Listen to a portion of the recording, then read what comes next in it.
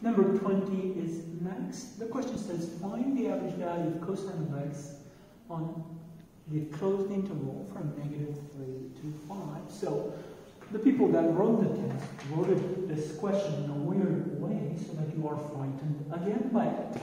There are clues here, like the word average value of cosine of x. What are they telling you about you there? Well, they're telling you a few things. First of all, they're telling you that the function that you're dealing with is f of x equals cosine of x. Second, that you're trying to find the average value of a function. So you say, I know that formula. The average value is equal to 1 over b minus a, the integral from a to b of f of x dx. Look at that. Everything that you need is given to you. You know f of x, you know a, you know b. All you have to do now is find the average value.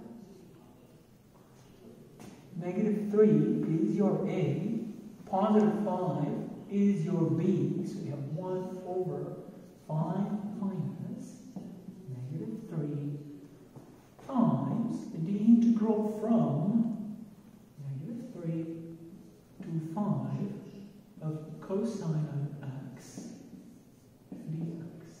This is 1 over 8. The antiderivative of cosine of x is equal to sine of x. So sine of x. The lower limit of integration is negative 3. The upper limit is 5. So this is 1 over 8 times sine of 5 minus sine of negative 3. There is one more trick up the sleeve, which is you need to remember that sine of x is an odd function. So sine is odd. What does that mean? It means that sine of negative x is equal to negative sine of x. In other words, sine of negative 3 is equal to negative sine of 3. So this is 1 over 8 times sine of 5 minus negative sine of 3. I think I've done enough for you to figure out the correct answer. We move on to number 21.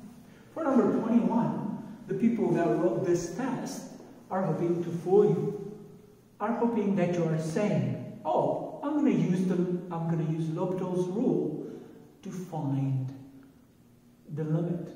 Please don't do it. The first thing you should check when you use L'Hopital's rule is to see, is this 0 over 0? Is it infinity over infinity? Well, in this case, this is neither. Let's take the limit by using the direct substitution. What do we get? We get 1 over natural log of 1. What is natural log of 1? Um, yes, what is natural log of 1? Remember, natural log of 1 means log of 1 with a base of e. It represents the exponent to which you need to raise e to get 1.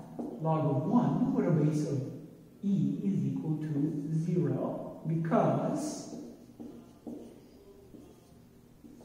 let's because correctly, e to the 0 is equal to 1. So, this is really 1 over 0. Does the limit exist? No, absolutely not.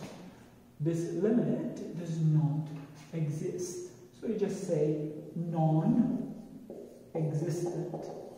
This would be one of your choices. We now continue with number 22. We erase the board. Like I said, take a look at number 22, pause the video, go over it, see if you can solve it yourself. If you can't, the solution is now provided. Let's look for the question. Let's look for the one big clue. What is the one big clue? f is increasing. Ask yourself, when is a function increasing? A function is increasing, so f is increasing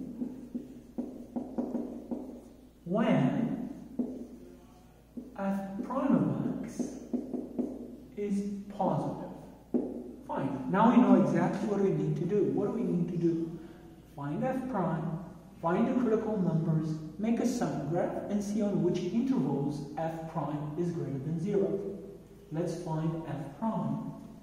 It's tricky to find f prime.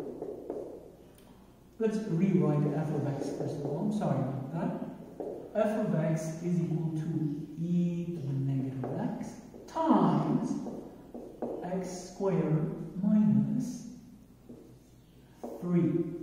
So notice that you're going to have to use the product rule.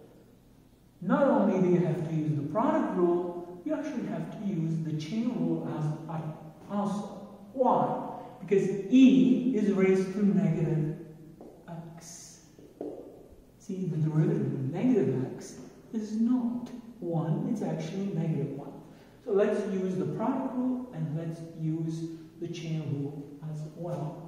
The derivative of e to the negative x is e to the negative x times negative 1 times x squared minus 3 plus plus e to the negative x times the derivative of x squared minus 3, which is 2x minus 0. So what is f prime of x? f prime of x is equal to the opposite of e to the negative x times x squared minus 3 plus 2x e to the negative x. Continue. f prime of x is equal to um, let's factor out an, an e to the negative x e to the opposite of x times negative x squared plus 3 plus 2x. So this is our f prime of x. We're going to rewrite it. f prime of x is equal to to the negative x times the opposite of x squared plus 2x plus 3. What we're going to do next is we're going to factor that f prime of x is equal to e to the opposite of x times. Let's see, this would be um, 3 plus x times 1 minus x and I've got it backwards, no problem. That's why we have erasers. This is actually 3 minus x times 1 plus x. Quickly check. 3 times 1 is 3, 3x minus x, 2x. And then the opposite of x times x is x squared. Good. We're now ready to find the critical numbers. e to the opposite of x is always positive. Our two critical numbers, the only two numbers that make f prime of x equal to 0 are so our critical numbers. Yes, I know I've skipped some steps. I'm sorry about that. But the two critical numbers are x equals 3 and x equals negative 1. What we're going to do next, we're going to make our sign graph. On the number line, let's put the numbers negative 1 and 3. And let's choose some test points. Let's choose negative 2, let's choose 0, and let's choose 4. Like I said, e to the negative x is always positive. So, e to the negative 2 is just e squared, which is positive. 3 minus negative 2 is 5, which is positive. 1 plus negative 2 is negative 1, which is negative. A positive times a positive times a negative is a negative. Let's choose the number 0, which is between negative 1 and 3. e to the 0, positive. 3 minus 0, positive. 1 plus 0, positive. A positive times a positive times a positive is a positive. Okay? Let's choose a number bigger than 3. e to the negative 3, oh, I'm sorry, bigger than 3, bigger than 3, like 4. e to the negative 4, positive. 3 minus 4, negative. 1 plus 4, positive. A positive times a negative times a positive is a negative. So, what were we looking for? We stated at the beginning of the problem. f is increasing when f prime of x is greater than 0. f prime of x is greater than 0 on the interval from negative 1 to 3.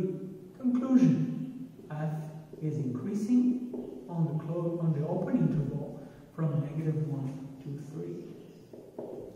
So increasing on the, the open interval from negative 1 to 3. As a bonus, you know, you could figure out my critical numbers are the maximum, are the minimums. That's for you to do on your own. Remember, after all, you are practicing for